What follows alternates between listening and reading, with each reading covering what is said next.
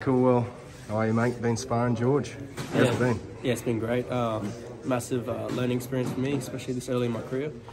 And I'm just grateful that he reached out and uh, wanted me for some rounds.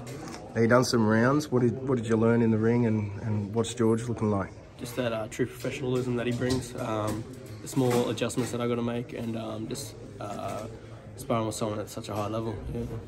And what are you uh, what do you think George will will do that'll challenge Devin Haney and ultimately get him the win?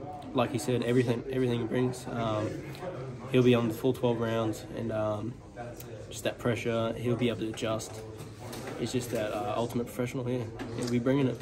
And you'll be heading down for the fight next week. Yeah, definitely. I'll definitely be there, support him, and uh, watch him get that W.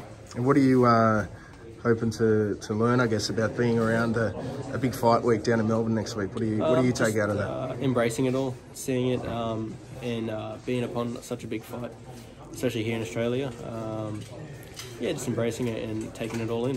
And what about yourself? You're unlucky not to get the win in your last fight, a great fight. Yeah. Um, what did you learn in that fight, and what's next for you? Uh, just a lot of little things um, that we're working on in camp, and um, uh, we'll be putting that in towards uh, my next fight. So yeah, And what when is that fight? Is it to be uh, announced July soon? second. It will be announced soon. Yeah, but July second is the date we're looking at.